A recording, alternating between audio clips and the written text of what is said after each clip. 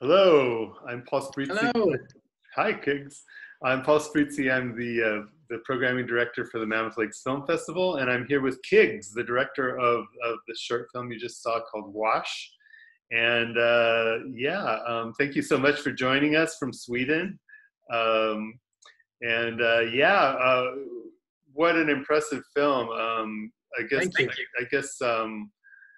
Uh, first of all, I just wanted to talk a little bit about the style of it. It's got such, for one thing, such distinctive lighting and cinematography. Can you tell me what what your your um, approach was to that? Well, first of all, thank you so much for having Wash. I, I, truly appreciate it. It's a huge honor to be a part of the festival, and thank you for all the hard work in making this a digital experience. Um, yeah, thank you. Um, the what we wanted to do was to create something that was as realistic as possible, but still introduce something slightly supernatural. Because in a lot of, of, of, horror films, you can press play and you instantly know that it's a horror because there's extreme uh, saturation of blue or green or something like that. So I wanted to find, I remember when I was talking to, to Fredrik Sellegren, who is the cinematographer, and to Philip Carcamo, who is the light designer, I want to have a dirty but realistic look. It's, it should look like it's infected. So we tried to basically, what you see in the final uh, version is somewhat similar to what we saw on set. But then of course, Frederick has used his uh, great skills to enhance the illness, so to speak. So we wanted to play with shadows. You don't have to see everything.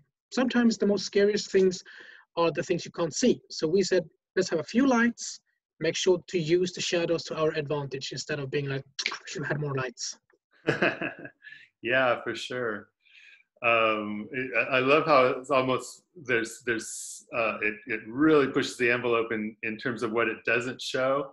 There's like so much so much suggestion, and, and uh, which I guess is that's kind of like um, the key to great horror. Do, do you have any um, big influences in terms of, of, of filmmakers?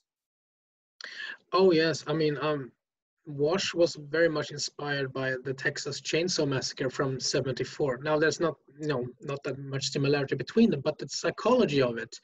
Uh, um, one of the favorite scenes in uh, Texas is where Leatherface puts the girl on the hook. You never see the hook go into her back, but your mind connects the images and you scare yourself. So I wanted to be able to make Wash into a magic trick because you never really see anything violent in the film. I just give you images, light, sound, and music, and you basically scare yourself. So even though I have a lot of, I'm a huge fan of, you know, Christopher Nolan and all of those directors, but I I more like the the way they made a film, like the Texas Chainsaw Massacre. I like the way they pulled that magic trick off. Yeah, yeah, yeah. And, uh, can you tell us a little? The performance by your actress is is fantastic too. How, how did how did you work with her? I think well, they both did a very good job. Um, you know, uh, they read the script several times, and it was just make sure to, to to talk with them on set, but not say too much, because you can sometimes with actors you can you can overanalyze too much. So basically, we just give them the lines and make sure that they just see what happens in front of the camera.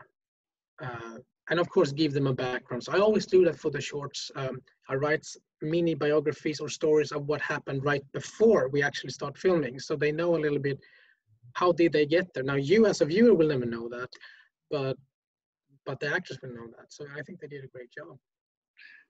Awesome, awesome. So um, so tell us a little bit about what you're what you're working on now. Well, right now I am working on the feature version of Wash. So I just finished the first draft of the script, but you know, it's it's a first draft. Who knows how many drafts it will be, but it's a first draft. And just as with the short, you have that as a blueprint, and then you can have discussion with the people involved and try to. I see it as a tree. You need to trim the the the branches a little bit to find the most focused version of the script. So we'll see where it goes. Hopefully, I can talk to you in a few years and talk about a feature version. Who knows? Great, great, yeah, and and you, I, I understand you already have a lot of interest in in the uh, in the feature script.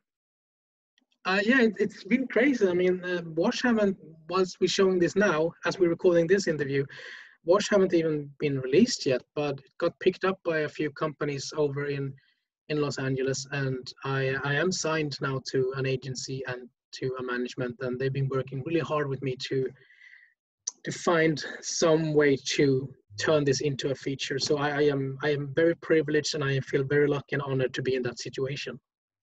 Great, great. Well, I'm so excited to see uh, see what you come up with next, and thank you so much for for being part of the festival.